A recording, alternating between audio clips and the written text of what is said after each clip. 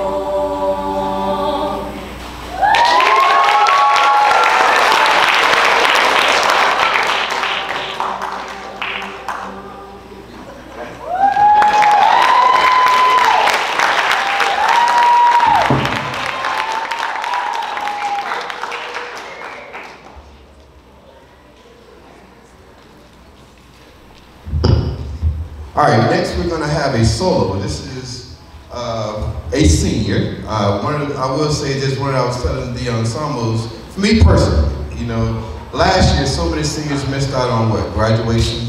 They missed out on prom. They missed out on grad night. They missed out on all their senior festivities. So this year, one of the, my focus was to really center all of my attention around the seniors to make this the most memorable uh, season um, as possible. So Ryan is one of our, our singers that we'll be featuring tonight. So this is Ryan Leto. She'll be singing a, a piece entitled Hallelujah.